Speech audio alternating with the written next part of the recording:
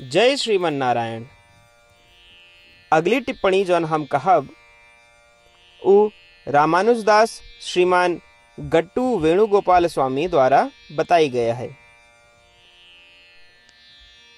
अध्याय पाँच, कर्म संन्यास योग, श्लोक सात। योगयुक्तो विशुद्धात्मा, विजितात्मा जितेन्द्रियः सर्वभूतात्मा, भूतात्मा कुर्वन्नपि न लिप्यते। ॐ। गीताचार्य श्री कृष्ण परमात्मा, अर्जुन सहित हम सब का कर्म संन्यास योग सिखावता हैं परमात्मा कहता है अर्जुन तो का कर्म योग करे के चाहिए। कर्म योग माने निष्काम कर्म। निष्काम कर्म के माने ई स्पष्ट समझ हो कि हम अपने शरीर से अलग ही और जितने भी कार्य हम करते ही, उसके कर्ता परमात्मा ही हैं ई परमात्मा के ही कार्य है और जौन भी फल इससे मिले, वे भी परमात्मा के ही हैं जब कार्य इस स्पष्ट समझ से किन जाते हैं तो उनका निष्काम कर्म या कर्म योग कहा जाता है। अर्जुन, यदि ई कर्म योग कीन जाए तो मन शुद्ध हो जाता है। जब मन शुद्ध हो जाए तो वे अपने नियंत्रण में आ जाते हैं। एक बार मन पे नियंत्रण आ जाए तो फिर सारे अंग, इंद्रियाँ भी अपना कहा सुनत हैं। इस तरह अगर सारे अंग इंद्रियाँ, मन, बुद्धि नियंत्रण में आ जाए तो ऐसा व्यक्ति ई स्पष्ट देख सके कि सारे शरीरों में जौन आत्मा है, वो उसके जैसी ही है। इस स्पष्ट समझ के साथ जौन भी कार्य किन जाए, वे कभी भी उस व्यक्ति का बंधन में ना बंधिए, कहे कि वो व्यक्ति आत्मा और शरीर का अंतर देख सकत है। और जानत है कि ये अलग अलग हैं। इसलिए शरीर के कोनो भी कार्य उनका बंधन में नहीं बनते। इस प्रकार श्री कृष्ण परमात्मा समझावता है कि ये कैसे सुनिश्चित की जाए कि हमारे कोनो भी कर्म हम पे बंधन न बनावे। आओ हम सब निष्काम कर्म करी या फल के आशा किए बिना कार्य करी। आओ हम अपने मन का शुद्ध करी और अपने मन का अपने नियंत्रण में लिया इस तरह अपने सारे शरीर के अंगों का अपने नियंत्रण में लिया और ये देखी कि सारे, बाकी सारे शरीरों में सारी आत्माएँ एक जैसी हैं और हमरे जैसी ही हैं। परमात्मा की शिक्षाओं पर ध्यान करते हुए आओ हम सब परमात्मा के शब्दों का यथावत दोहराई योगयुक्तो विशुद्धात्मा, विजितात्मा, जितेन्द्रियः सर्वभूतात्मा भूतात्मा कुर्वन्नपि न लिप्यते। श्रीमद् भगवद गीता के पूरा निचोड़ श्री कृष्ण परमात्मा अध्याय 18 के श्लोक पैंसठ से 70 के आठ कर्मों में रख दे हैं। श्री कृष्ण कहें, ये आठ बात मानने वाले पे हमार स्नेह है। ये भक्तन की हम हर प्रकार से सुरक्षा करें।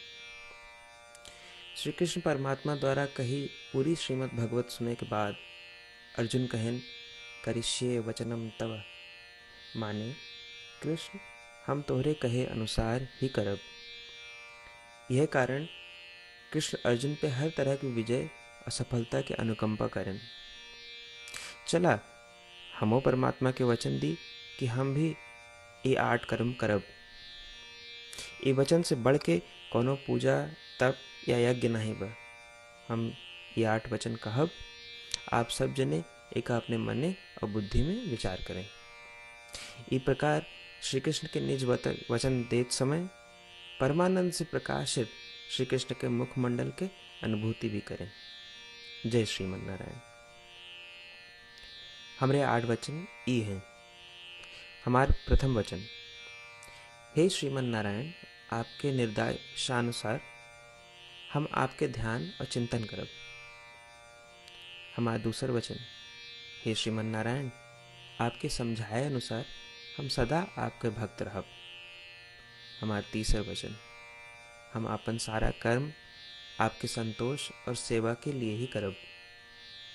हमारा चौथा वचन, जैसा आप कहें, हमका पूरा विश्वास है कि हम आपके हैं और हम सदा आपका करबद्ध नमस्कार व पूजन करब हमारा पांचवा वचन, हे श्रीमन नारायण अध्याय अठारह, श्लोक छाछठ में आपके कथन। मामेकम शरणम ब्रज अनुसार केवल आपकी शरणागत की बात कही बात श्रीमन नारायण हम केवल आप एक शरण में आए हैं। हमारा छठा वचन हे श्रीमन नारायण अध्याय अठारह श्लोक छाछठ में आपे कहे, माँ शुच। मैं आपके शोक न करे के उपदेशानुसार हम शोक न करब। हमारा सातवां वचन, हे श्रीमन नारायण आपने हमरे खातिर श्रीमद् भगवत गीता दे के हम पे बड़ी कृपा की है। हम नियम से एक श्लोक रोज सुनब या पढ़ब। हमारा आठवां वचन। हे श्रीमन नारायण आपने सारे लोग के लिए गीता दी है। जे भक्तन गीता के बारे में नहीं जानते हम उन तक आपके अलौकिक बतिया पचावे के प्रयत्न करब। अभय हम परमात्मा से अपन आठ वचन बताए। श्रीमन नारायण कया वचन देव कि हर दिन जैसा वो कहे हैं, हम वैसन करब। यह एक महान पूजा है। आवा, हम अपने अडिग विश्वास के साथ उनका अपन वचन दी कि हे श्रीमन नारायण आप जैसा कही हैं, हम वैसन करब जैसा आप चाहिए वैसा ही व्यवहार करो और हम केवल आपे के लिए काम करब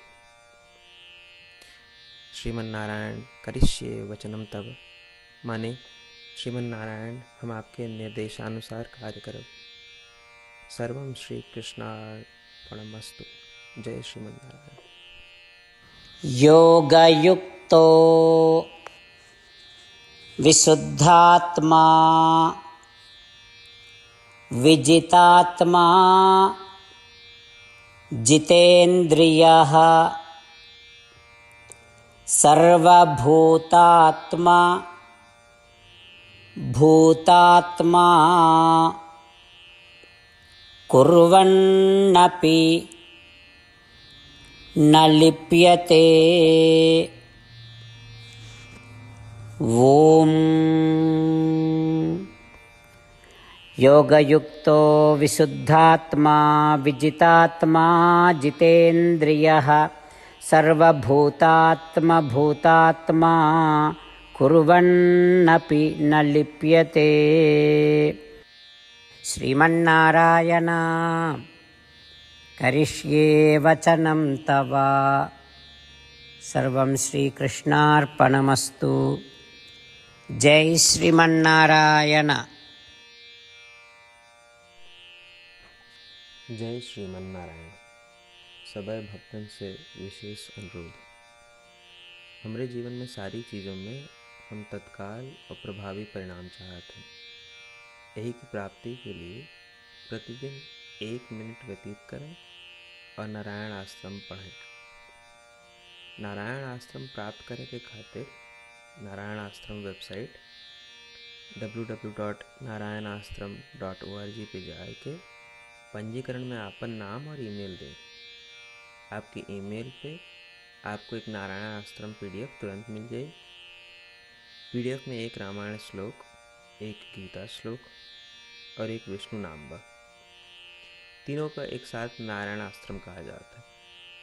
प्रत्येक व्यक्ति के इन श्लोकों के भिन्न भिन्न संयोजन प्राप्त होते जब सब चौबीस हज़ार भक्तन के साथ प्रतिदिन अपने नारायण आश्रम को पढ़त हैं या सुनत हैं तो संपूर्ण रामायण पारायण का एक माला, श्रीमद् भागवत गीता पारायण के तैंतीस माला, श्री विष्णु सहस्त्र नाम स्त्रोत पारायण के चौबीस माला प्रतिदिन पूरी होत ये एक ऐसा उल्लेखनीय और असाधारण परिणाम है, जो हर दिन ऐसा करे निकलत। एक लिए आप और आपके परिवार वाले तुरंत जाके अपन नारायण आश्रम प्राप्त करें। जय श्रीमन नारायण